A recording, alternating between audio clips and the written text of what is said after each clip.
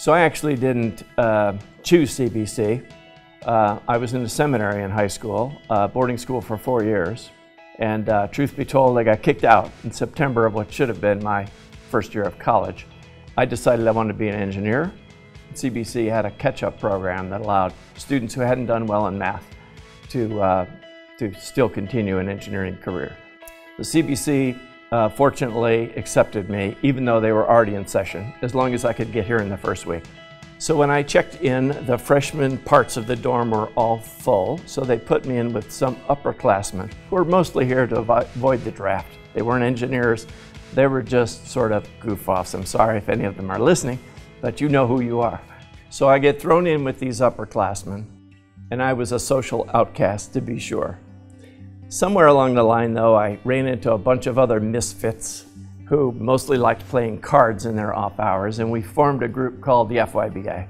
And the FYBA was sort of a disrespectful mock fraternity, and these guys helped me get through and helped me be socially acceptable. And to this day, they're my best friends, and we get together once a year and still play that same old card game. Scholastically, it was a real tough start. Not having had math, I got put into the five credit hour class with Mr. Coker, that was supposed to catch you up on all the math that you missed in high school. And so I had to go to summer school and took one semester, uh, 21 hours, including two labs. I worked pretty hard, but I've managed to graduate in four years. I'm pretty happy about that.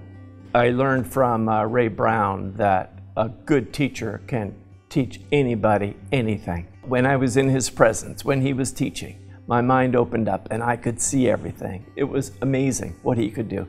In fact, senior year, I took a course that I would never have taken only to watch him work again. It taught me that anywhere I go in my career, I should find that smart person who knows how to talk to the right audience, who knows how to explain something in simple terms. As I look back at my career, CBC gave me a bit of an inferiority complex because I went to a small school and I was competing with some bigger league players. I was lucky my father helped me, I'm sure, get a job with General Electric when I graduated. My draft number was low. I was ranked A1. I was Vietnam bound. GE was one of the few companies that would hire me. And so here I am working in the manufacturing management program at GE, a premier program for people in manufacturing at the time. And uh, I always felt a little inferior that I'd just gone to CBC. So I took the worst assignments, the toughest jobs, the ugliest businesses, the worst factory. One time I had a factory where, as general foreman, I was supposed to control the workforce, and they had 13 wildcat strikes in six months. I took all the ugly jobs.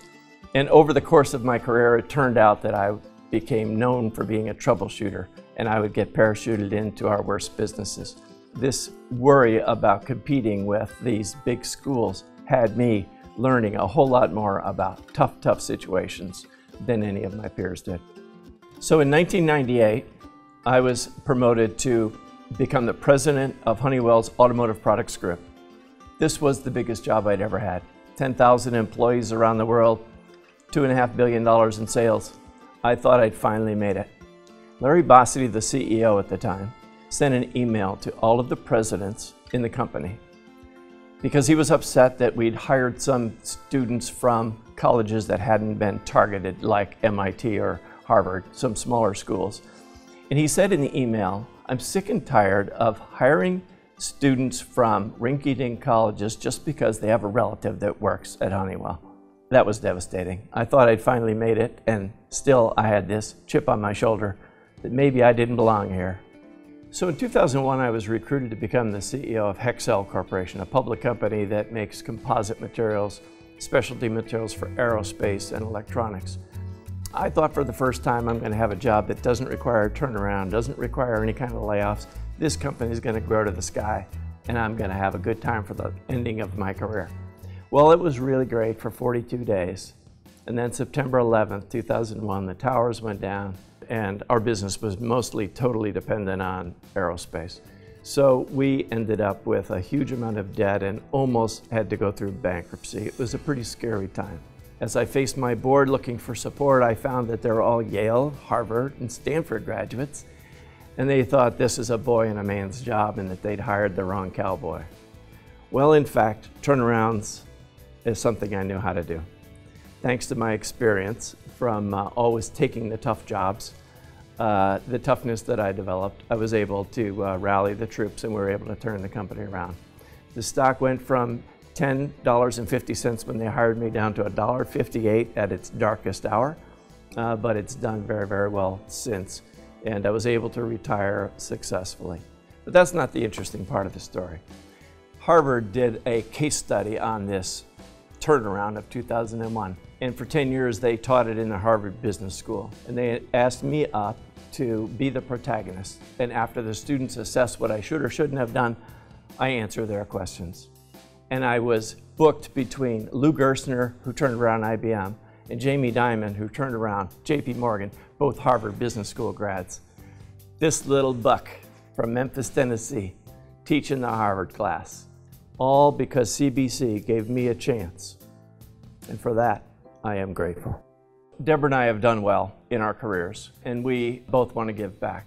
We target small, dedicated programs that focus on scholarship and diversity, giving people a chance.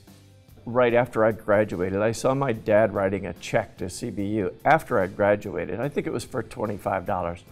I said, Dad, I already graduated. Why are you writing a check to CBC? He said, Well, they gave you a chance, and I want to support them. Well, I never forgot that. My first job at GE, I was making $10,000 a year. I had a pregnant wife, and I could hardly afford to eat. But I felt like I needed to write a check to CBC. I wrote a check for $50 because, of course, it had to be more than my dad wrote. And uh, brother Malcolm O'Sullivan was a president at the time, and he knew my situation and that I was probably going to get drafted. He sent the check back. Now, since then, I've given every year. I've given a little bit more, but I believe in uh, CBC, CBU, and what they do for the community and what they do for uh, people who otherwise couldn't get there. CBU gave me a chance, and as long as they're doing that, Debra and I are behind them.